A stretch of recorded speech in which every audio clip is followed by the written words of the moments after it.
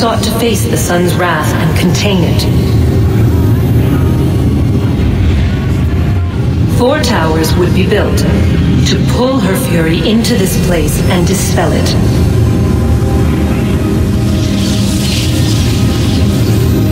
But even with all we knew, with all we had, it would take too long. A thousand years we could labor and still the work would not be done. The first tower was never completed.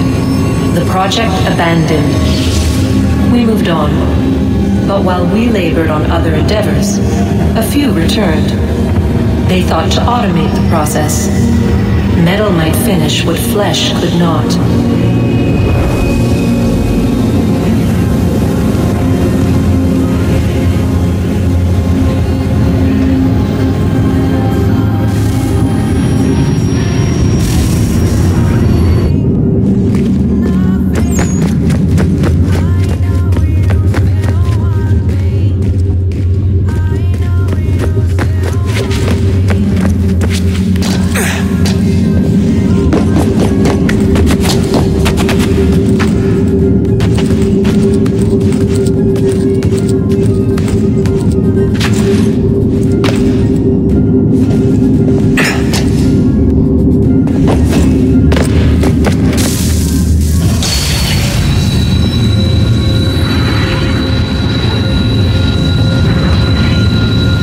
We could not meet the sun's cruel embrace, perhaps we might rebuke it.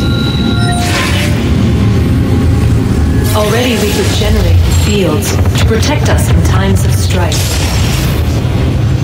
But these were small and simple things. To replicate them on a scale the size of a world. We lack the energy to make it so. Half the world, they said then. It is better than none at all. We tried. Again, we failed. A quarter, they asked. Even this we could not do. A sixth, an eighth, a tenth, they cried. The answer was still the same. Perhaps in time a city might be spared. But it was time we did not have. So we moved on.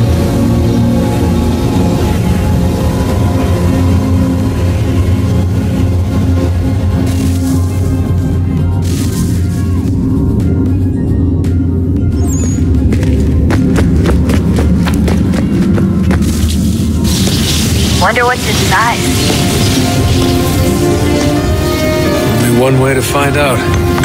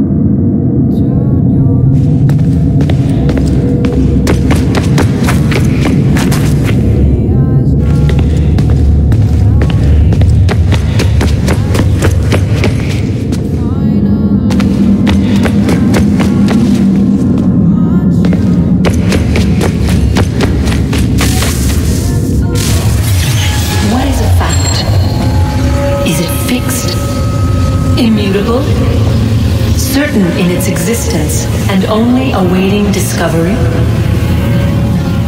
nor might it be changed.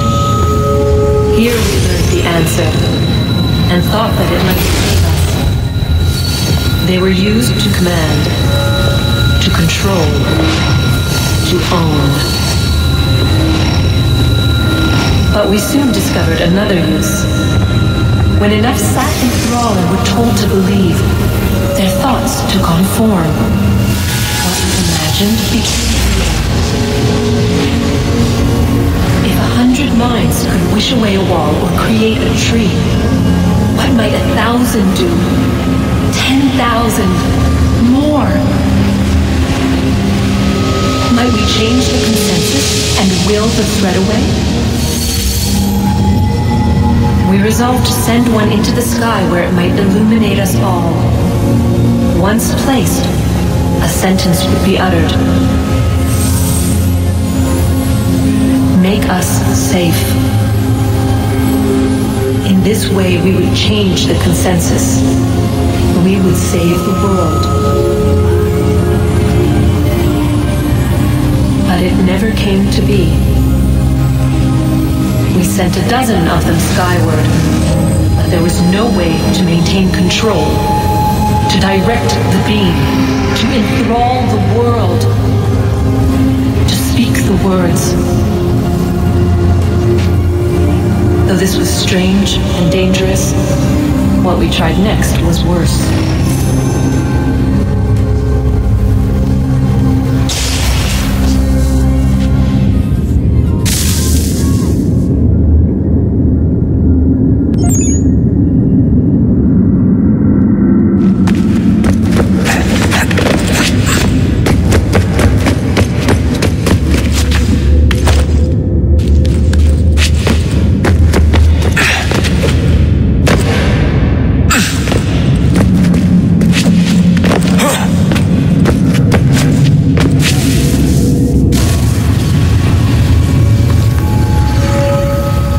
First instinct was to travel back, to change the past. But we could not find a way. But forward, we could look forward. And so here we sought to see beyond ourselves and know what was to come. First, we wanted to learn if our work would succeed. But the answer was always the same. So we moved on to other things. But she remained. The one you call Minerva. In time, she too stopped looking. And instead began to speak. She called out across time in the hopes that you might be saved. She hid messages where none might find them, save for you and those within this place. Fascinating. Tired of it. The cryptic warnings, the threats. Just tell us what you want! But they are. We saw the Nephilim there. We seemed like grasshoppers in our own eyes, and we looked the same to them. Imagine trying to explain all this to a two-year-old, to a grasshopper. When they said the will of the gods was unknowable, they meant it. Literally. I killed her, you know. Killed Lucy. It was the apple, son. It was Juno. I saw what she was. What would happen if I let her live? I could have stopped myself. I mean, there was a force there. But I didn't have to. I chose to. Desmond, Lucy was going to betray us and take the apple back to Abstergo. I saw the satellite launched. I saw them turn it on, and then. Failed. Whatever's on the other side of that door, it benefits Juno. We need to be careful.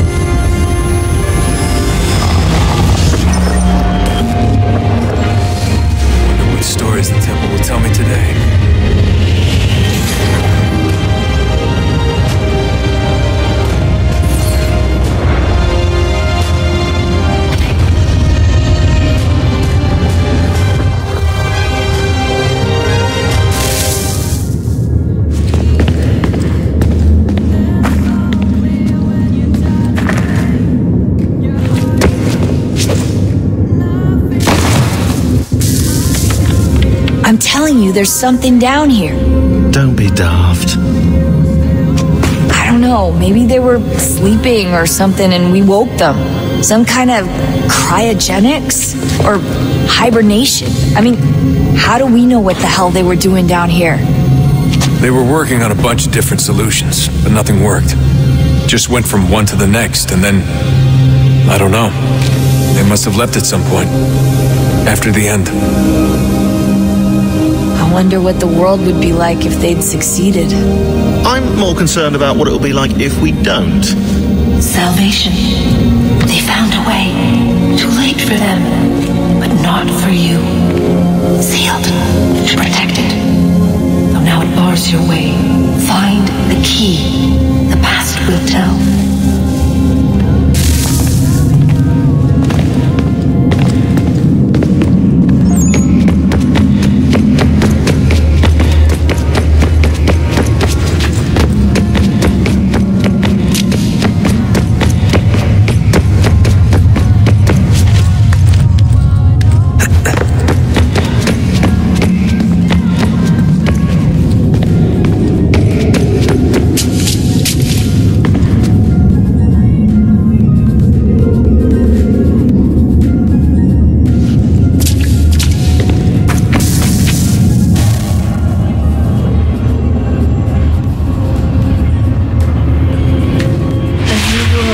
Approached. One that was dark and cold. It would consume us. For we were flesh, and flesh is frail. Though suits and shields might offer comfort, such adornments would not suffice. Not to save us all. So we sought to change what we were. In this manner, we might thrive in a world made poisonous. It was Aita who volunteered to see if it might be done. Aita, my husband, my love. In the end, it changed him, ruined him. He was made a prisoner of the machines. The body might survive, but his mind became brittle to the touch. He begged me for release, for days, for weeks, for months. I pleaded with him to give us time to find another way. But there wasn't one. Not for him. Not for us.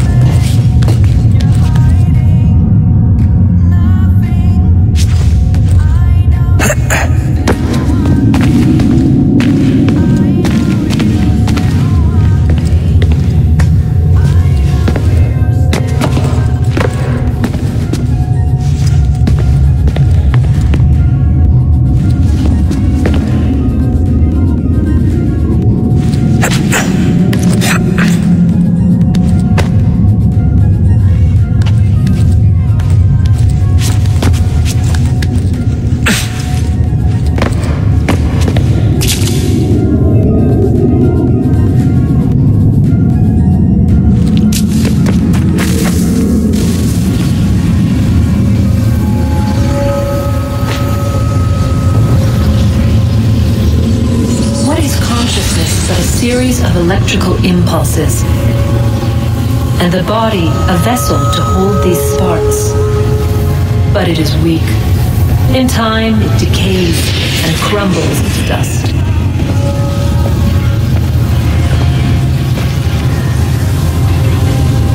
We asked ourselves then, what if it might be replaced with something stronger, something better. So we forged a new vessel, one that might endure. It proved easy enough to enter.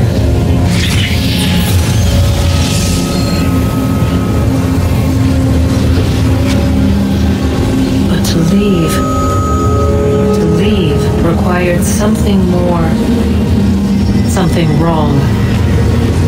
And so this too they abandoned. They right to turn away?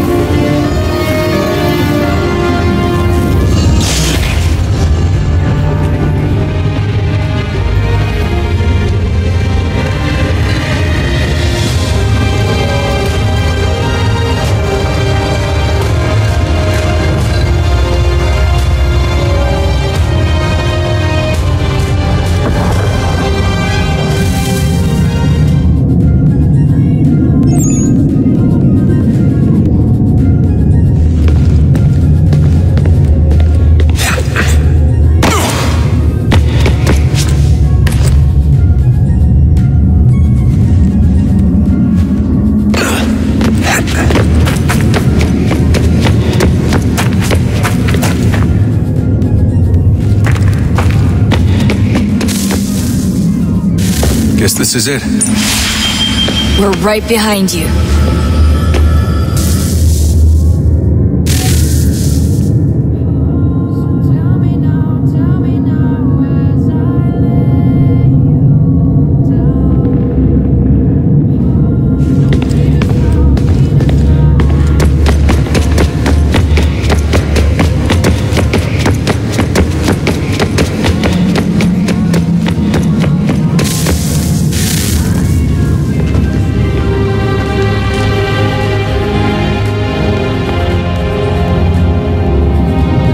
Moment of truth.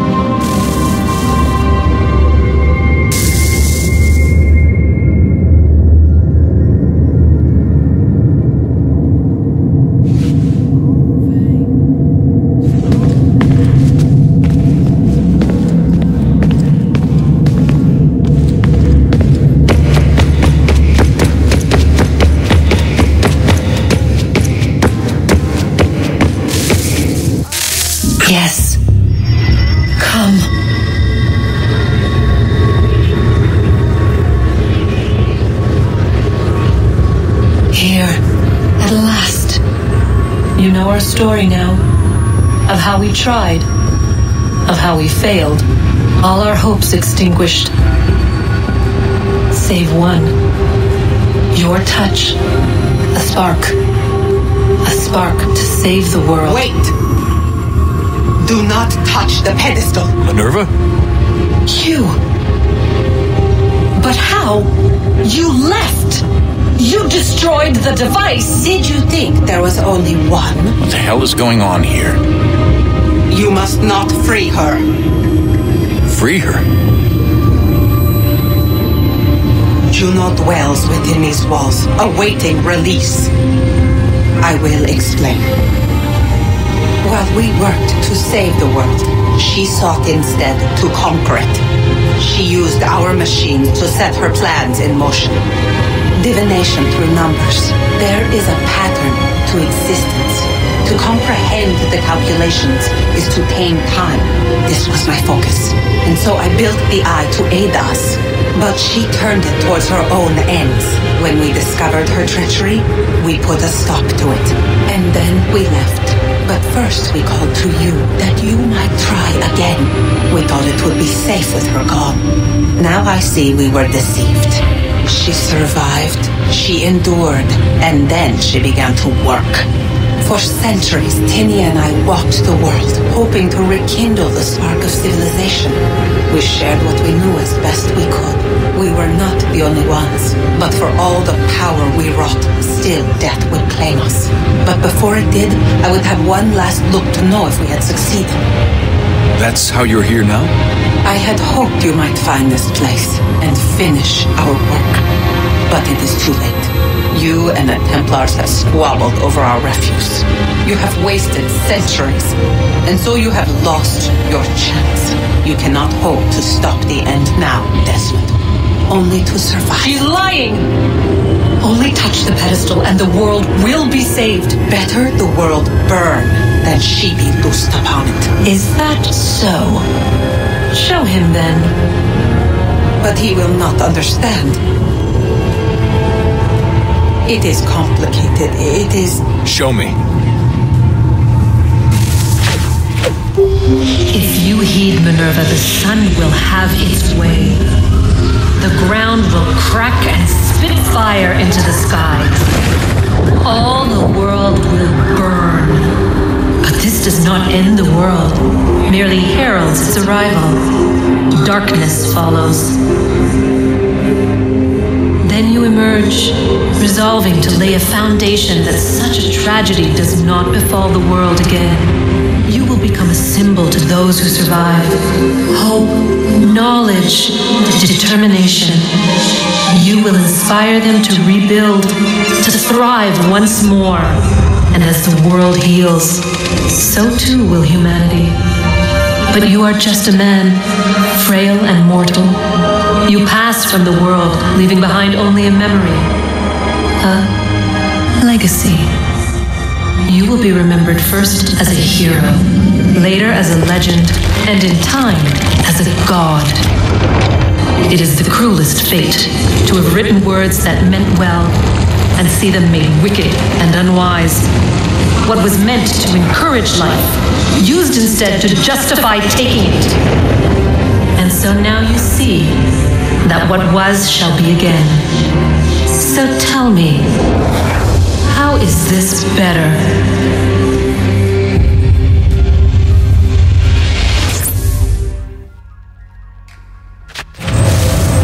She would sacrifice you, sacrifice the world, for no other reason than to deny me vindication. They will enslave your kind, Desmond. Is this not why you fight? Is this not why you came here? To ensure more than just your race's future, but its freedom? What future? What freedom? Billions dead and the whole cycle begun anew? This world has known nothing but heartache and horror since we left it. Our gift to them, and you'd see it all returned. Enough! You must not do this. Whatever Juno's planning, however terrible it might seem today, we'll find a way to stop it. But the alternative, what you want, there's no hope there. If you free her, you'll be destroyed. It will happen in an instant. There will be no pain. You mustn't. It's done, Minerva. The decision's made. Then the consequences of this mistake are yours to live and to die with. You need to go. All of you. Now. Get as far away from here as you can. Come with us. We'll find another way. There isn't time. Son. You know it's true. It's already started. I need to do this now. So go. Go!